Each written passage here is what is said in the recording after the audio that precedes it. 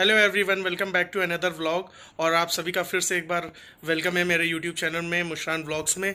और आज का व्लॉग बहुत ही ज़्यादा अमेजिंग होने वाला है, क्योंकि मैं जा रहा हूँ अभी अपने फ्रेंड के घर। और वहाँ से मैं जाऊँगा, उसको गाड़ी लेना है। तो उसने बोला कि चलते हैं एजेंसी और गाड़ी देखते हैं। तो देखते हैं चल के कौन सी उसको बाइक चाहिए या स्कूटी उसको लेना है। और वहाँ पर चल के डिसाइड करते हैं।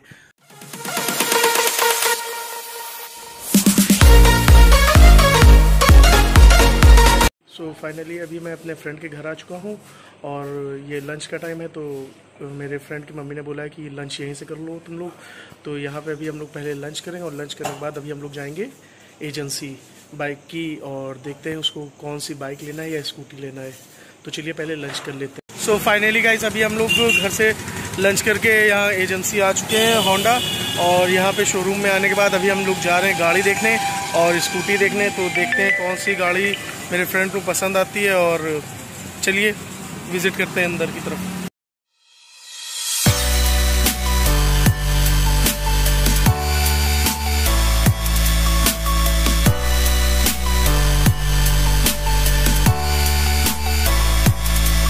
सो फाइनली अभी गाड़ी देख ली है और एक्टिवा समझ में आ रही है, मगर अभी एक और शोरूम है तो वहाँ पे भी जा रहे हैं।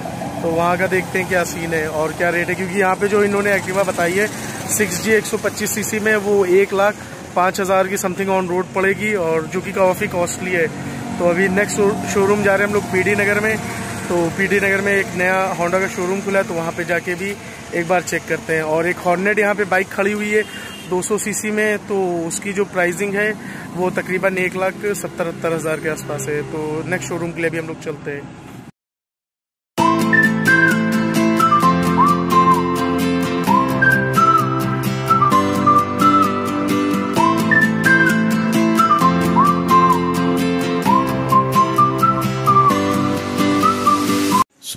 फाइनली अभी हम लोग होंडा के सेकंड शोरूम आ गए और यहाँ पे भैया खड़े हुए हैं तो गाड़ियों की चलो इनसे डिटेल लेते हैं। ये एक गाड़ी समझ में आई है होंडा की। क्या नाम है भैया इसका? ग्रेजिया ग्राजिया तो इसकी डिटेल लेते हैं आपको दिखाते हैं इसका क्या क्या फीचर्स वगैरह है।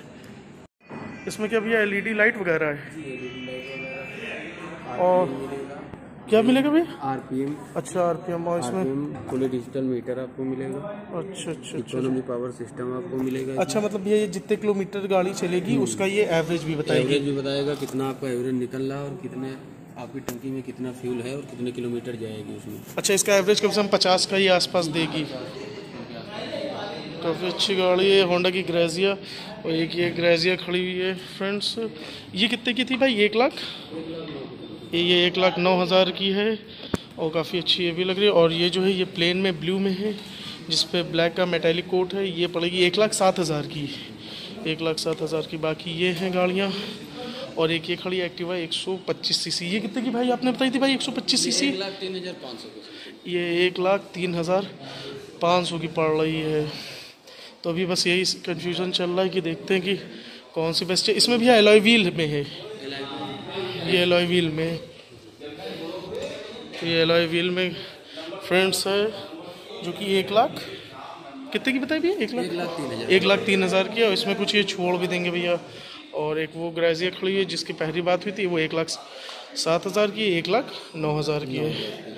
तो अभी और भैया जो हॉर्नेट एक आ रही है 200 सीसी में 200 सीसी वाली खड़ी है क्या? जी, ये 200 सीसी है।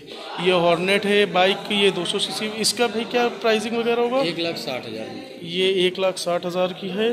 ये हॉर्नेट 200 सीसी और भाई इसका एवरेज वगैरह क्या है? एवरेज भी चालीस पैंतालीस। चालीस पैंतालीस का एवरेज देखिए गाड़ी काफ़ी अच्छी लग रही है तो बस यही डिसाइड हो रहा है कि कौन सी बुक करना है और कौन सी लेना है। तो चलिए आपसे अभी थोड़ी देर में मिलते हैं। तो फाइनली अभी हम लोग शोरूम के बाहर आ चुके हैं। और गाड़ी देख ली है और पसंद भी कर ली है मगर इनके पास कलर अवेलेबल नहीं है। तो ये लोग कह रहे हैं कि एक अक्टूबर के पहले पहले आ जाएगी। अगर कलर आ गया तो हम लोग एक अक्टूबर को गाड़ी यहाँ से पिकअप कर लेंगे। अगर नहीं आता है तो फिर कोई अदर शोरूम से देखेंगे। मगर कोशिश तो यही है कि ये लोग बोल रहे हैं तो एक अक्टूबर को आ जाएगी। तो ये भी हम लोगों ने बुकिंग्स वगैरह भी करवा ली है और इनको कॉन्टैक्ट नंबर भी अपने प्रोवाइड कर दिए सो गाइज़ आज का ब्लॉग यहीं पे एंड करते हैं और अभी मैं जा रहा हूँ घर और काफ़ी थक गए हैं तो रेस्ट करते हैं जाके. Take care bye